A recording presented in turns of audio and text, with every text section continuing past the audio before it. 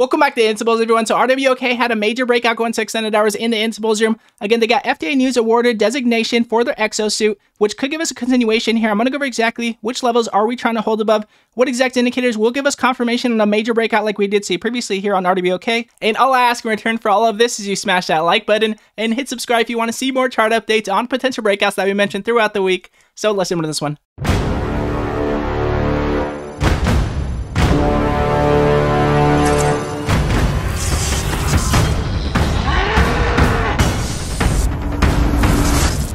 So I'm going to go over RWLK here with you guys here on the 30 minute chart. I'm going to go over exactly how this momentum does look overall. Again, we did have our previous major breakout that we did mention in the Instabulls room. But before we get started, I want to mention that we do alert penny stock and breakout alerts of the day. We mentioned RWLK just now going to extended hours on that news at $1.40, jumping all the way up to $2.12 now going 600 hours. Looking to see if we can continue here. We also mentioned EVAX on a volume spike yesterday at $15, having a major squeeze all the way up to $50 going 600 hours, over 200% on that breakout. And going to today, a major breakout that we had today and also yesterday, but Today we had FATBB halted at $14, jumping all to $24 on the day, over 50% on that breakout. So if you do want to see more breakout alerts of the day as the market has been pretty choppy, go to instabulls.com in the description below and you will never miss a breakout alert of the day again. So as you guys can see here on the 30 minute chart, we had this major breakout previously, looking to see if we can continue on past those highs.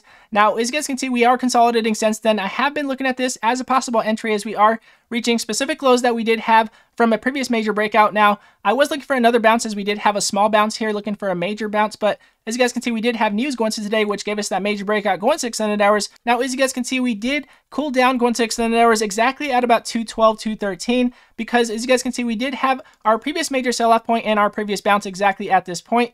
As you guys can see, exactly at 210, we had our previous continuation sell-off and we also did have our bounce. And as you guys can see, this also was a confirmation continuation breakout here previously here on RWLK. And again, looking to see if we can gap up here to $2.37.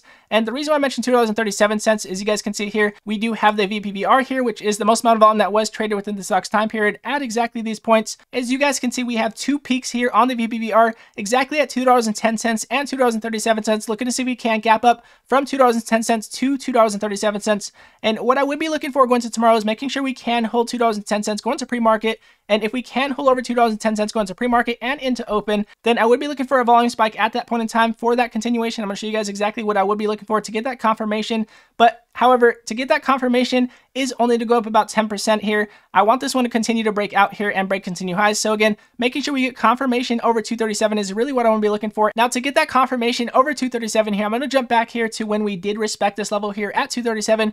Back here in January, as you guys can see, we did continue on down and we did respect this level. We did continue on past it and we did get confirmation here. And as you guys can see, we had a major buy pressure point exactly at that point on that major spike. Looking to see if we can continue on past that buy pressure point that we did previously respect this level with. If we can continue on past that, we can have a major breakout here with RWLK. Now, we do have the EMA lines pointing up here on the MACD showing us that we could continue, but making sure we do get confirmation above that previous buy pressure point that we did have when we did respect that $2.37 level is what I would be looking for here on RWLK. So again, making sure we do justify every one of our breakouts is exactly what I make sure you do focus on on this channel every single day. And again, with that said, if you guys do want to see all of our breakout alerts of the day, go to instabulls.com in the description below, and you will never miss a breakout alert of the day Again, and everybody that has been coming over and supporting the channel, everybody that has been coming over from the Instabulls room, I appreciate every one of you guys as always. Much love to every one of you guys. And if you guys do like this video, it does help other people find it, and it does help the channel grow, and I do appreciate it very much. And again, God bless you all, and I'll see you guys in the next video.